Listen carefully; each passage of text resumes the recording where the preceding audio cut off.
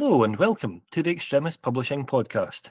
I'm Tom Christie, and it's a great pleasure to welcome back someone who will be familiar to you from a previous podcast, and that is Mr. Neil Hallam, who is the creator of the Robin Hood 500 route and also the author of the official Robin Hood 500 guidebook. Now, Neil has had a fantastic and very interesting time since we last spoke to him. Um, he's travelled widely around the various different geographical locations of the Robin Hood 500 route, and uh, I'm absolutely delighted to invite him to say a little bit more about it um, and to talk about his future plans. So, Neil, thanks for joining us today. Hi, Tom. Thanks for having me back, and uh, hello, listeners.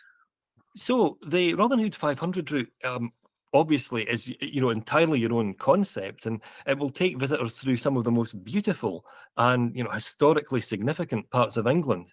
Um, would you like to say a little bit more about uh, you know how the route has been developing and uh, you know the the kind of public interest you've had in it? Interest's been great. I've, I've been out and about a fair bit uh, around the route and and slightly wider as well I think covered before, it, it was a lockdown project where all the desk research uh, I, I, did sat sat at my desk uh, for something to fill my time and uh, and something that really did catch my interest with the the history behind the legends. Uh, the, the the reason that they're so widespread the historians say that it's all to do with the travelling minstrels and storytellers as they moved about for different audiences. They drew in bits of local colour to make their performance relevant to the audience. So as they moved about, all these characters that had got some of the characteristics of Robin Hood were pulled in and in the book, I cover five or six real people, but they lived over a period of about 120 years. So what we now see as Robin Hood is really a bit of a composite of of lots and lots of people who lived this slightly outlaw lifestyle, uh, and the stealing from the rich, giving to the poor concept's always been quite a popular idea. So, so that was my lockdown, doing the research and finding the places. And then as soon as we were set free, I was able to go out and uh, and explore them. And I, I did the route and made sure it all worked, and it was a nice experience driving round it, avoiding as many of the busy play roads and places as I could. And then we got the book out, and, and since then I've been taking it further. I've been I've been revisiting a lot of the places, uh, and there's a there's a website that's a companion to the book, um, www.500rh.co.uk, uh, and through that you can join up to a, a membership scheme where there's more detailed itineraries, and that's where I'm putting a lot of the information of the places that uh, I'm revisiting, as well as on social media. There's a Facebook and there's an Instagram uh, page for for the uh, the route. But these revisits have enabled me to do a bit more of a deep dive uh, and put some walks and cycle routes in that you can explore a bit more depth. A uh, real nice one recently that I did was uh, in the the Peak District town of Hathersage in Derbyshire. Uh, that's reputed to be the hometown of Little John. Uh, he's he's his grave is in the uh, the parish church uh, that sits above the village. Uh, there's a gravestone there, and the stories that I talk about in the book of uh, unearthing a thigh bone that uh, when they did the uh, so the anatomical work from it, they he'd have stood a shade over seven foot tall, so hence fits with the uh, the, the little John character being exceedingly tall. Uh, and then in the hills overlooking uh, Hathersage on Stanage Edge, which uh, I knew very well as a rock climber in my younger days, there's uh, Robin Hood's Cave, which is a little bit hidden. You have to do a bit of a a, a, a climb slash scramble to get to it because it's tucked away under the under the ledge. But that's reputed to be a place where where Robin and his gang hid from the sheriff when they were hunting for them in the Peak District.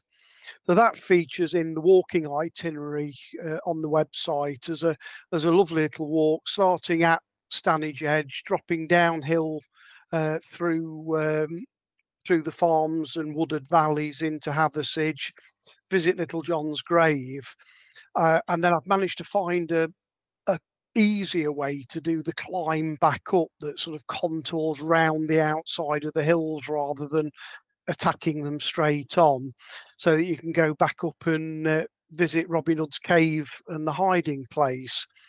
So there's there's lots of things like that I've been doing. Um, I mean, another walk in the same area, slightly further south, but still in the Peak District, uh, Robin Hood Stride.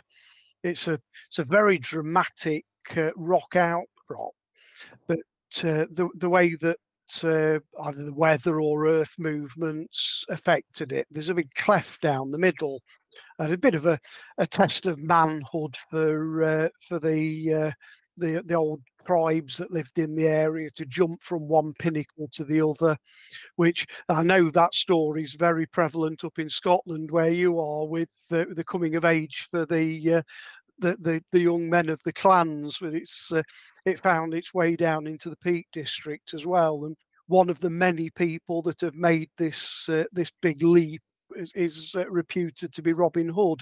But there's a there's a lovely walk uh, around there that I've that I've put in the book. Uh, it's not all about walking. You know, I've, I've been out and, uh, and visited some of the uh, the culture and heritage. Uh, earlier in the year, I joined Derbyshire and Peak District Tourist Authority, and that's given me some great links. Um, only uh, only last week we got a, uh, experience day at, uh, at Haddon Hall. That's um, it, it, it, fits between uh, sort of Matlock, that's that's one of the more famous Peak District towns, and uh, and Hathersage that we've just talked about on the A6 as it uh, which is forms part of the Robin Hood 500.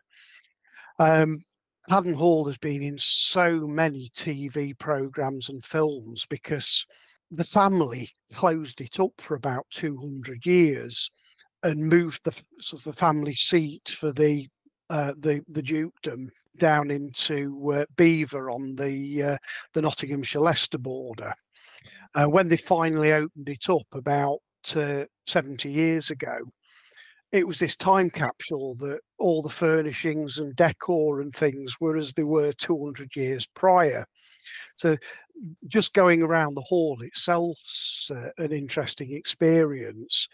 But what fits quite nicely with uh, with the theme of the Rob, Robin Hood 500 and the whole getting to grips with the Robin Hood experience is their medieval deer park. Again, that's been left pretty much to its own devices for 200 years from when it was uh, it was used by the uh, the lords of the manor for deer hunting and Robin Hood and his ilk would have gone out to uh, poach the king's deer on the land and they're they're in the midst of a uh, a process working with Natural England and some of the other conservation uh, groups to uh, to restore this whole medieval deer park to its former mm-hmm. glory and you can do guided walks around them and see pretty much what Robin, Little John, Marion, and the gang would have been seeing back in medieval days. Uh, so that's uh, that that's a, a, nice little bit of heritage that uh, that that I've been doing. Um, other things back into the more modern world. One of the uh, the key customer groups that I designed the Robin Hood 500 for are, are camper vans and motorhomes. Although it's it's suitable for motorbikes as well because I ride motorbikes, or you could do it in your car. But settling on the the, the camper vans and motorhomes, I've done two of the big uh, camper van shows uh, so far this season. And uh, there was something in excess of 7,000 camper vanners that came over the three days uh, last month when I was at uh, uh, the Midland Showground in uh, in Newark, uh, and that was a, a, great opportunity to talk to the people that were actually going to go out for it. Now that brings me around to one of the how do we use this guidebook? The question that I got asked most often was, do you suggest campsites to stay on in the book? And I don't. And there's a reason for it. Um, the ownership of the campsites change regularly, just as the the ownership of hotels and B and B's and other accommodation do. And I want the hard copy guidebook to stand the test of time, and you'll be able to pick up the copy you've bought in five years' time and go out and enjoy the route again. And if I've put time sensitive things like the campsites in, then it, it loses some of that longevity. But what a what I was recommending to the people that asked me that question is this: there's so many websites and apps and things for for for the campsites and indoor accommodation now that the way I've structured the guidebook it's very detailed for all the towns and villages that the road and the roads that the route passes through the various areas. So rather than start with, oh, I like the sound of that campsite, start with, I like the sound of that attraction, mm. whether it be Little John's Grave up in Hathersage, um, Haddon Hall if you want some some history and culture, or further north up on the North York Moors where uh, where Robin was practicing his archery at Robin Hood's Butts overlooking uh, Whitby and Robin Hood's Bay. So that's your starting point. Find out where you want to spend a day or two, and then use one of these many apps to find out do you want a, a big family friendly campsite with lots of amenities and a and a on-site bar and park for the children? Do you want a, a 12 to 15 pound club site with very few amenities? Or do you want one of these pub stays where the uh, the pubs allow you to stay in the car park if you buy a meal and a pint or two in in the bar?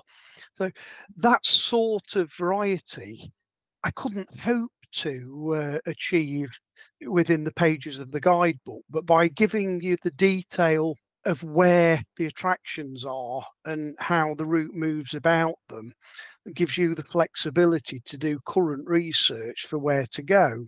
One of the things I love about the Robin Hood 500 route is the fact that it covers so many different areas of cultural significance. Um, because Robin Hood obviously is one of the most historically uh, porous characters, uh, right up there with King Arthur. Um, and you cover all of the very diverse and different myths and legends regarding Robin. You talk about the uh, the historical context of, of this particular figure and the many different interpretations um, of, of Rob, the Robin Hood legend. Um, but you also talk about the the many different characters that um, that we've come to associate with Robin Hood, be it Maid Marian, the Sheriff of Nottingham, Friar Tuck, Little John, Alan a Dale, um, Will Scarlet. You talk about all of those different uh, locations um, and the different um, areas of significance uh, to these characters. Have you found that there are any particular attractions um, that have really um, garnered the attention of uh, of people who've been travelling the route? Um, you know, are there any particular favourites that stand out? probably easiest to start with a bit of a where they haven't actually and, move from that. Um, I was approached recently by a researcher for uh, for ITV television. They're, they're looking at doing a piece for why the city of Nottingham hasn't grasped Robin Hood in quite the way that they might have done for tourism. Um, you can visit the castle, uh, and Nottingham Castle's got a, a fantastic audio-visual um, section in the in the the uh, the caverns underneath Castle Mount, uh, but it's very orientated towards children. I took two of my granddaughters there uh, a, a, couple of weeks ago, uh, and there's they can they can watch audio audio and visual descriptions of people talking through some of the ballads and they can dress up in period costume uh, and there's even fantastic uh, virtual reality stuff for for shooting a bow and arrow. Uh, and the one I really liked was having a quarterstaff fight with Little John. Uh, that you you you hold a, a, a, staff that's that's wired to the uh, the the screen in front of you and and basically where where you point the staff is where you hit and you get to know whether you've beaten little john or not um, but that that's really the only part of nottingham that that grabs robin hood. Shooting much further north to hit another of the characters uh, you mentioned friar tuck. Um, fountains abbey I thoroughly enjoyed the visit there. It's a National Trust property, so there is an admission fee, or it's it's in with your National Trust membership if you um, if you've got it. But that fits to the story of uh, of Robin Hood and Friar Tuck carrying each other across the river uh, and then tipping each other into the water.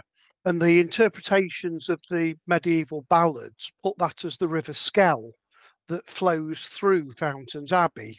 Uh, it's a ruined abbey, but there's a lot of the ruins still there.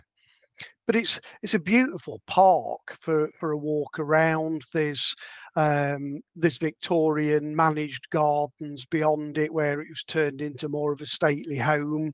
There's Robin Hood's Well, that's a, a historic spring that's clearly been there for for a long, long time, but the Victorians have put a wellhead on.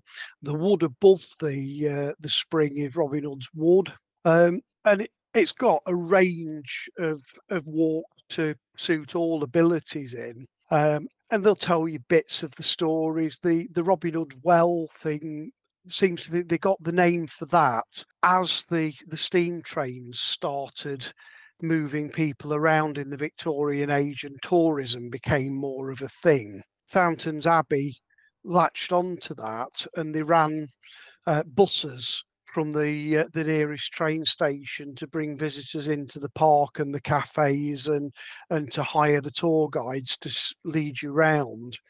And they even hid an old English longbow in the undergrowth behind the well that uh, suddenly got produced as oh, and I found Robin Hood's bow.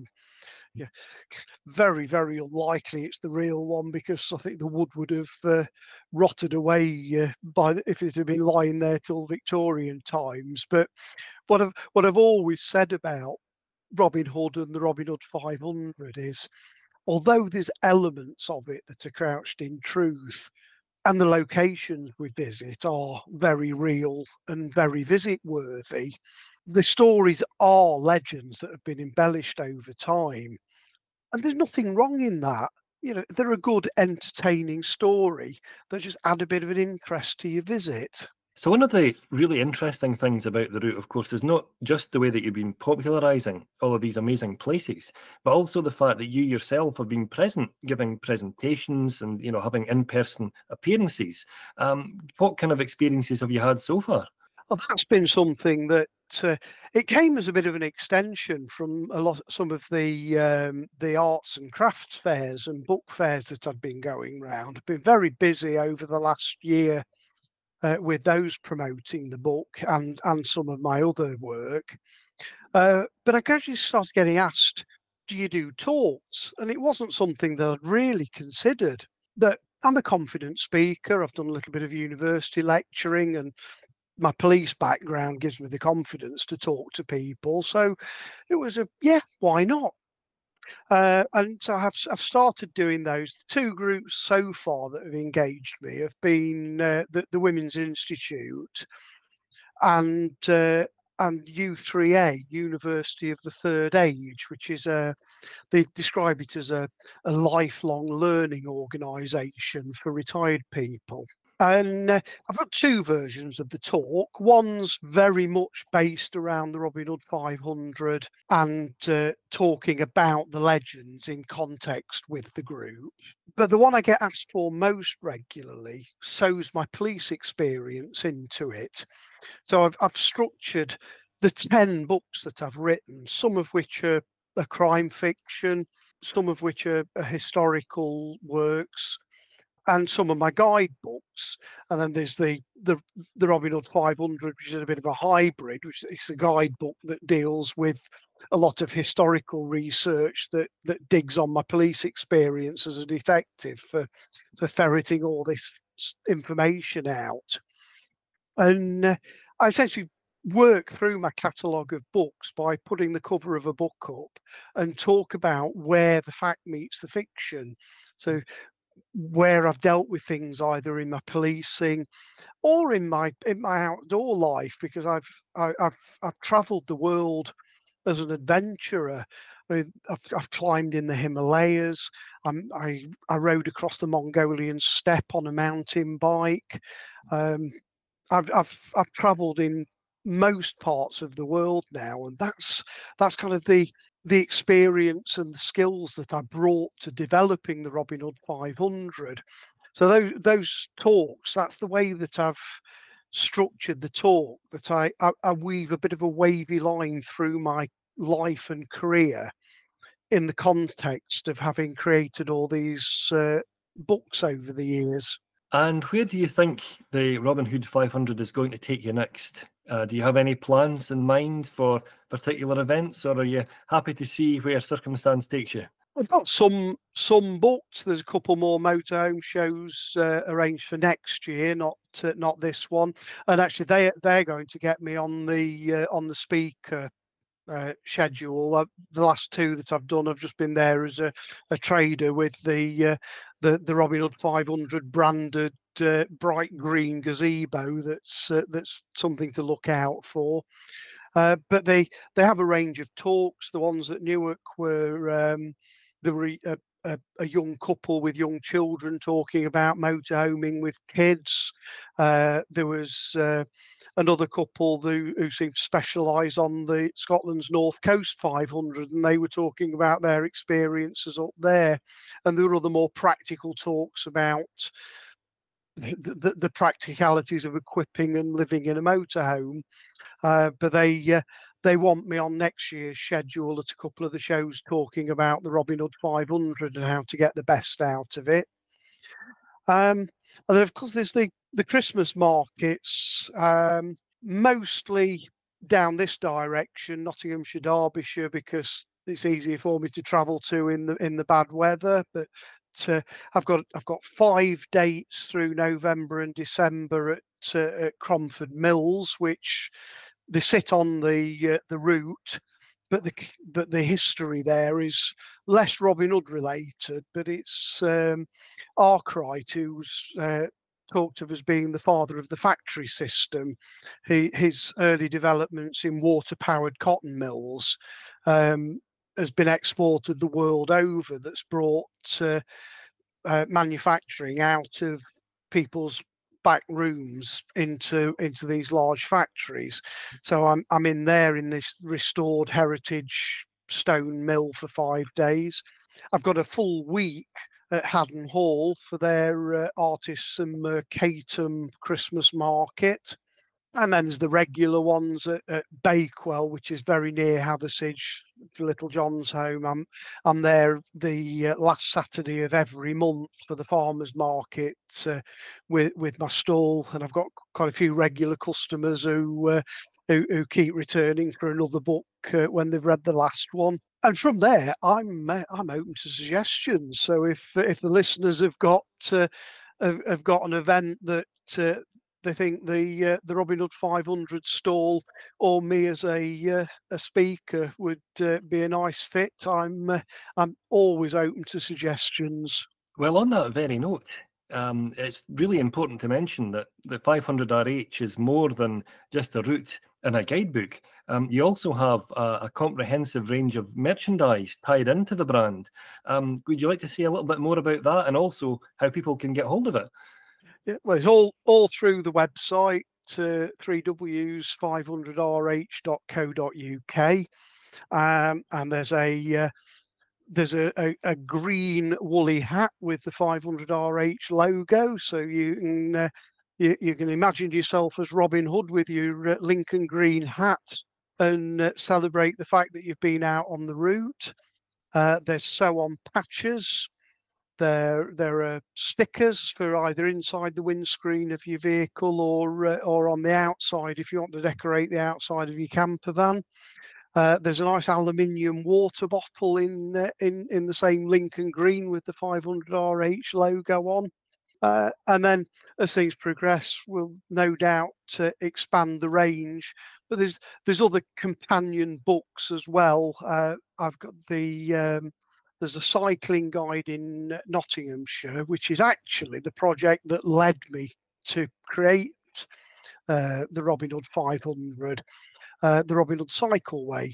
The, the Robin Hood Way is a, a 90 mile long distance footpath linking Robin Hood locations in Nottinghamshire. But because it was created by a rambling club, there's lots of it that you're not allowed to cycle on. So I've de- I developed that as a uh, a cycling alternative where I found bridleways or quiet roads to bypass the uh, the footpath only sections.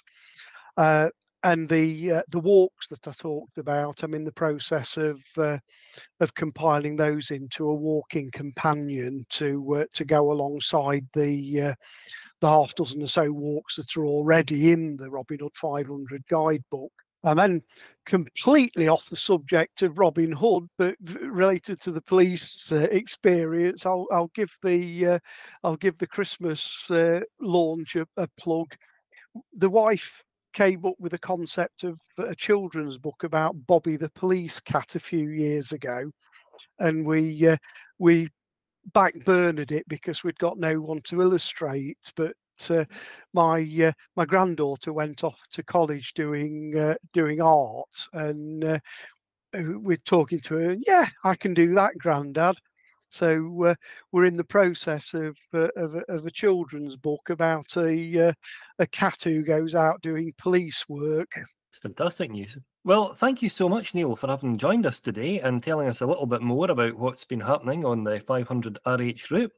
Um, I really do hope that everyone who's listening at home will um, want to find out more about it, um, will want to meet you forthcoming events, um, and indeed to follow what's happening uh, on the route in the months to come. So why not follow Neil at Neil Hallam's 500RH on Facebook, or by joining his website at www.500rh.co.uk and you can find out more about membership benefits when you're on there. So thank you so much, Neil, for having joined us today. It's been great to speak to you. Thank you. Thank you for having me and uh, thank you for listening. So thanks everyone for having joined us today. I hope that you'll tune in again soon.